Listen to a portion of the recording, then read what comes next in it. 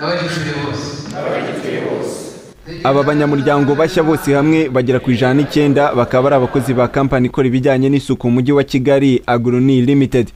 Ese kuki bahisemo gushimangira ko ari abanyamuryango ba fpr inkotanyi? Barasubiza.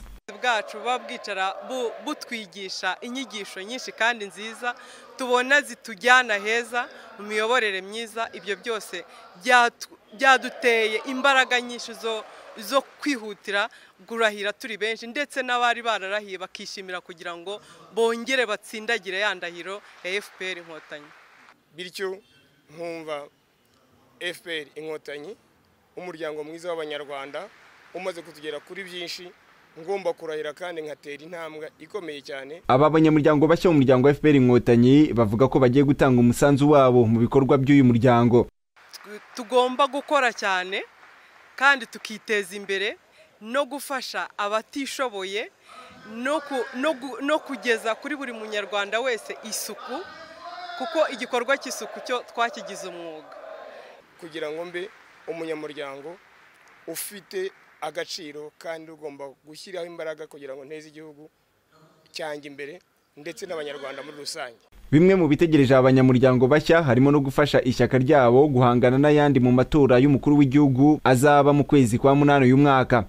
Aha ni ho abayobora uyu muryango mu karere ka gasabo bahera bavuga ko bari kunguka amaboko azafasha gutumira ishyaka riri ku butegetsi kugeza ubu umukandida waryo yegukana umwanya w'umukuru w'igihugu nk'uko mushimire eric ushinzwe imibereho myiza abivuga.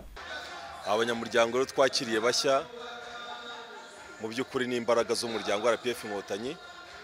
Ni imbaraga dutegereje imbere ni imbaraga zijwe zikeneye zikenewe. Cyane cyane ko ubu ngubu murabizi igikorwa kiri imbere cy'amatora y'umukandida wacu nyakubahwa perezida wa repubulika. Ni imbaraga rero du- dukeneye mu rwego rwa mobilisation amatora y'umukuru w'igihugu ateganyijwe mu ntangiriro z'ukwezi kwa munani uyu mwaka amashyaka atandukanye akaba atangiye gukora ibikorwa bisa n'ibigamije kuyitegura.